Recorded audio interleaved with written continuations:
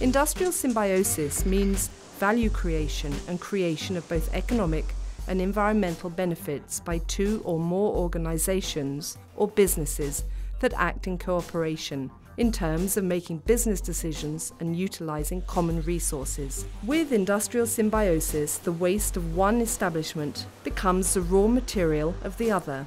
And sharing is not limited to waste materials only. All kinds of resources, be it energy, labour, logistics, and expertise, are efficiently shared and utilised via this achievement is possible for Turkey as well. Industrial symbiosis was brought to the national agenda of Turkey for the first time with the Industrial Symbiosis Project in Iskenderun Bay, initiated in 2009. Started as a corporate social responsibility project by the Baku Ceyhan Tbilisi Crude Oil Pipeline Company, the initiative, after various feasibility and assessment studies, continued with implementation related activities. The implementation phase of the project, which was started in 2011, was carried out by Technology Development Foundation of Turkey in cooperation with Middle East Technical University, as well as International Synergies, the organisation that implemented the project in the United Kingdom. Thanks to this pioneering project that brought together the private sector, public agencies, universities, and the NGOs, Network for Industrial Symbiosis is expanding more and more every day. Projemizin öncelikli amacı e, endüstriyel simbiyoz yaklaşımını İskenderun Körfezi'nde hayata geçirmekti. Ve buna paralel olarak bu yeni gelişen kavramın ilgili taraflarca anlaşılmasını sağlamak ve e, ulusal düzeye taşınacak e, çalışmalar için ilk adımları atmaktı. and one of them is the industrial symbiosis, which is, is very exciting because it takes two companies that don't have a relationship and puts them together. For instance, one may have waste products and the other one can use those waste products. So this whole project is about bringing companies together.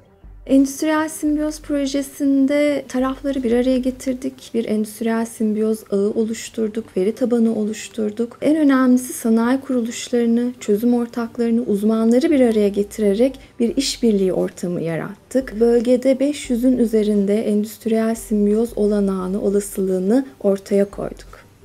One of the most important outcomes of the Industrial Symbiosis Project in Iskenderun Bay was that it triggered the implementation of numerous exemplary practices. Çukurova supplies around 70% of Turkey's citrus production. As a result, one of the most common industrial waste in the region is fruit pulp. However, fruit pulp can be used as a valuable input for high quality feedstuff production. How? By utilising the waste energy from the lime industry. Bu proje kapsamında öncelikle ham maddeyi tanımak adına e, narenciye posalarının değişik e, narenciye kaynaklarından meyve suyu sanayini ziyaret ederek örnekler aldık.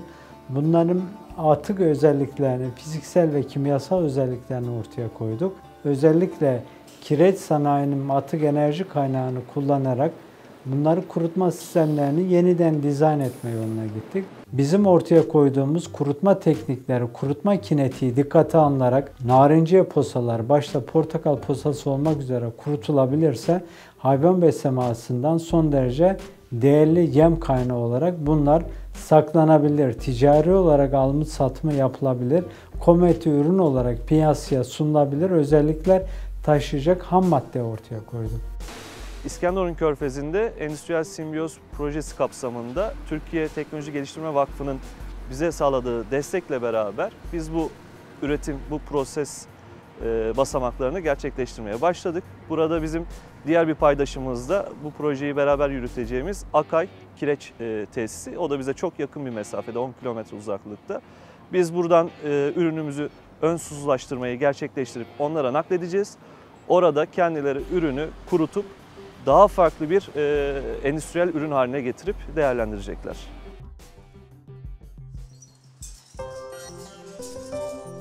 The livestock breeding sector, which utilises the feedstuff from the fruit pulps, has a serious waste problem as well. However, relevant R&D studies have shown that animal waste can be used for energy production simultaneously with agricultural waste. Tarımsal atıkların hem bertarafı bir sorun Çukurova için. Çünkü bunu bertaraf etmek ayrı bir e, teknoloji gerektiriyor. E, ayrıca bir maliyet. Akdeniz Üniversitesi'nde bu e, tarımsal ve hayvansal atıkların e, karışımlarıyla birlikte enerji potansiyeli e, çalışmaları ve laboratuvar çalışmaları gerçekleşti. E, bizler de bu işin e, maliyet analizi ve e, tarımsal atıkların miktar belirleme konusunda e, projeye destek verdik. Türkiye Teknoloji Geliştirme Vakfı Koordinasyonu ve Erka Mühendislik İşbirliği ile Adana bölgesinde oluşan tarımsal ve hayvansal atıklardan metan üretim potansiyelinin belirlenmesi ile ilgili bir proje hazırladık. Bu kapsamda Erka EV'de mısır silajı, mısır atıkları, e, büyükbaş hayvan ve tavuk gübresi için örnekleyici ve temsil edici bir şekilde numune alarak bize numuneleri gönderdi. Adana bölgesinde oluşacak bu atıklardan, toplam atıklardan bu dört atıktan ne kadar enerji üretebileceğimizi tespit ettik. Ve bu kapsamda %60 mısır atıkları, %20 büyükbaş ve %10 e, tavuk gübresi bileşiminin metan üretim potansiyeli açısından en verimli olduğu bulundu. The project, while providing an efficient alternative for disposable waste for the manufacturers, also contributes to the efforts for green energy production at the national level. Another project whereby agricultural industry came across the concept of industrial symbiosis brought together these two major sectors in the region on a mutual benefit platform. Lint waste, which results from cottonseed production, has been used in the manufacture of a new bioproduct. The product has been tested in soil improvement in lands that have been subject to pollution by oil and other pollutants. The results from the field tests are found to be successful. Mayagro firmasının atıklarından bir ürün elde ettik. Bu ürün e, güçlü bir yağ absorbanı olarak ortaya çıktı. Aynı zamanda biyoremedasyon ürünü olarak da petrolle kirlenmiş toprakların rehabilitasyonunda kullanılan bir ürün olarak ortaya çıktı. Çevsu'nun pamuk tohumu atığından ürettiği ürünün saha çalışmaları kapsamında petrolle kirlenmiş toprakların biyoremedyasyonunda e, denedik. Ve 8 ay aşkın süreyle e, sürdürdüğümüz çalışmaların sonunda toplam petrol hidrokarbonları olarak %80'e varan giderim verimleri elde ettik. Aynı zamanda laboratuvar çalışmalarımız kapsamında da susuz ortamda e, yine bu ürünün ham petrolü sızdırmadan tutabildiğini ve sonrasında da tehlikeli atık oluşturmadan kullanılabileceğini çalışmalarımızda gösterdik. Petrol kirliliği bizim gibi boru hattı işletmesi yapan bir şirket açısından çok önemli konulardan bir tanesi. Kendi sahamızda geliştirilen ürünün farklı ticari ürünlerle beraber deneysel çalışmalarının yapılmasına katkı verdik. Farklı ortamlarda, farklı şartlarda ürünün denenmesi sağlandı ve e, sonuç olarak bunun kullanılabilecek bir ürün olduğu görüldü.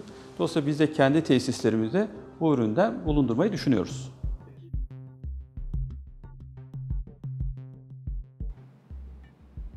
One of the major wastes of the oil pipeline industry is an array of waste oils with different properties.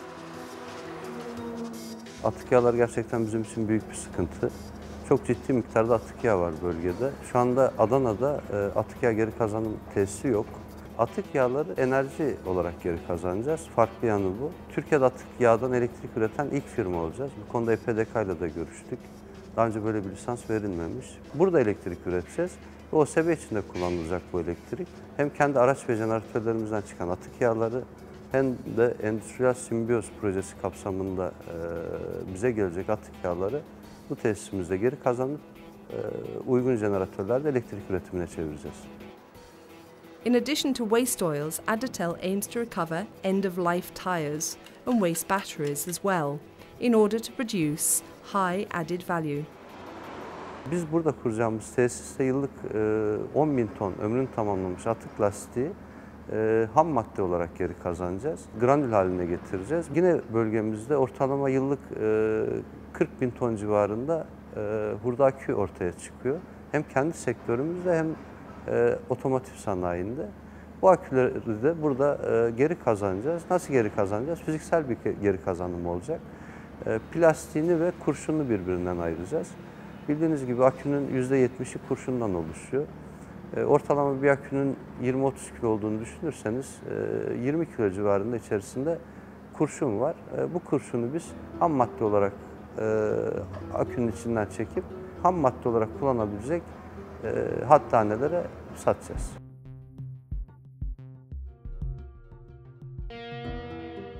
Transportation sector is at the forefront with resource utilisation as much as it is with waste production. The exemplary project that has been implemented foresees the utilisation of slag from iron and steel industries instead of the natural aggregate in highway construction. Sektörün hakikaten en önemli sorunlarına bir tanesi curuf. Neden curuf? Curuf e, özelliği gereği inert atık. Yaklaşık e, 6 yıldan beri tesisimizde depolanmakta olan bir atığımız. Türkiye Teknoloji Geliştirme Vakfı Endüstriyel Simbiyoz Projesi'ni başlattığında bu projeyle birlikte biz gördük ki curuf geri kazanılabilir. Bununla ilgili altyapı çalışması yapıldığı sürece Türkiye'de uygulanabilir. İstanbul Teknik Üniversitesi ile birlikte çalışmaya başladık. İkinciler firmasının yine çıkartmış olduğu elektrikli ark fırını ocaklarında üretmiş olduğu çelikten yan ürün olarak çıkan çurufun karayollarında kullanım olanaklarını araştırmak üzere bir çalışma başlattık. E, araştırmaya Ocak ayında başladık. Curuf'un şu ana kadar e, hiç e, karayollarında üst tabak olarak kullanılmadığını biz e, gördük. Curuf aslında karayollarında son derece güvenli bir e, yapı malzemesi. Özellikle trafik güvenliği açısından e, Curuf'un e, pürüzlü olması fren mesafesini kısaltmakta ve aşınmayı özellikle karayollarındaki onarım biliyorsunuz süreçleri çok önemlidir. Aşınmayı geciktirmekte. Bu nedenle Curuf'un trafik güvenliği açısından kullanımı tüm dünyada olduğu gibi Türkiye'de de çok önemli olacaktır.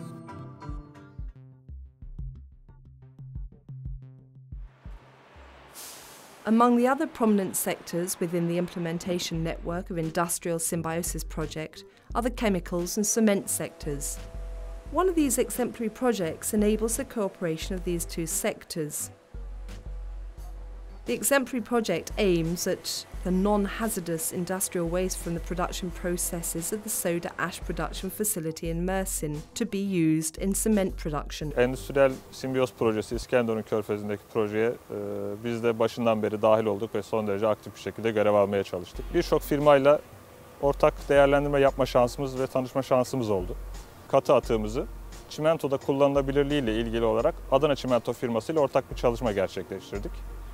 Bu çalışmanın sonunda bizim katı atığımızın kurutulmuş şekli Adana çimentoda çimentoya minör bileşen olarak kullanıldı. Bu projenin çıktıları olarak teknik anlamda son derece başarılı sonuçlar elde edildi. Türkiye Teknoloji Geliştirme Vakfı'nın bu girişimi bu konuda hem bölgesel hem de ulusal olarak firmalar arasında sağladığı iletişimde sürdürülebilir kaynak yönetimine ilişkin olarak bize önemli fırsatlar sundu. Bu konuda ülkemiz ve bölgemiz için önemli faydalar elde edeceğimize inanıyoruz. The results of all projects implemented and cross industrial cooperation prove that such initiatives would offer significant benefits both for stakeholders and the environment, as well as the economy at national level. Tüm ülkeye yaygınlaştırılabildiği koşulda bu kavram ve uygulamalar projemiz kapsamında ortaya çıkan çıktıların çok daha büyük ölçekte ülkemizdeki ilgili atık yönetimi ve endüstriye ilişkin rekabet, üretim, verimlilik gibi konularda önemli katkılar sağlayabileceğini de düşünüyorum. Endüstriyel Simbiyoz, Türkiye Teknoloji Geliştirme Vakfı'nın e, paydaşları için bir çözüm platformu olma e, misyonuyla birebir örtüşen bir yaklaşım. E, dolayısıyla bundan sonra da İskenderun Körfezi'nde, diğer bölgelerde bu çalışmaları devam ettirmeyi ve e, ulusal düzeydeki çalışmalara da katkı sağlamayı arzu ediyoruz. It is very promising for the future of the project that the concept of industrial symbiosis is now embraced by public agencies to a great extent as well. Endüstriyel simbiyoz bir sanayi politikası olduğu kadar bir çevre politikası. Aynı zamanda bizim için çok önemli bir bölgesel gelişme politikası. Oradaki birçok endüstriyel işletmenin birbirleriyle etkileşim içinde çevreye zarar vermeden ve gelir elde ederek bölgeyi geliştirmesi için endüstriyel simbiyoz yeni, orijinal, çok faydalı olabilecek bir araç. 26 tane malum Türkiye'de kalkınma ajansı var. Bakü Tüflis Ceyhan e, boru hattı işletmesi, e, Türkiye Teknoloji Geliştirme Vakfı işbirliğinde bir çalıştay düzenledik. Bu e, çalıştaya ajanslar katıldı. Bunun kısa vadede çok net bir sonucunu gördük. Şu an 2014-2023 dönemi için bölge planları hazırlanıyor. Neredeyse tümünde endüstriyel simbiyoz yer aldı. It's great because we're doing something in the Ceyhan area where we operate. Secondly, we're partnering with a company that has expertise beyond that. Uh, thirdly, we're bringing companies together. And then fourth, this has an expansion element for all of Turkey. So we're very excited about the project and we feel like we have very good uh, partners and uh, we're excited about the results. Led by Technology Development Foundation of Turkey and supported by Baku Ceyhan Tiblis Pipeline Co., the Industrial Symbiosis Project became a solid example, proving that every challenge can be converted into an opportunity by using unique solutions and a cooperative approach. It has been proven that a total of 330,000 tonnes of waste can be utilised with eight exemplary projects. This is equivalent to the total amount of household waste produced by a city with a population of 1.5 million. The project also demonstrated that a total of 6 million USD net profit can be generated by producing 280,000 tonnes of products. While 27 different institutions were directly involved in the projects, five universities gave direct support to this initiative. The culture of cooperation to be achieved in the industry will return to us in the form of new job areas, sustainability, competitive advantage, efficiency, and profitability. With a national framework and widespread participation, Turkey's new industrial revolution will take place very soon.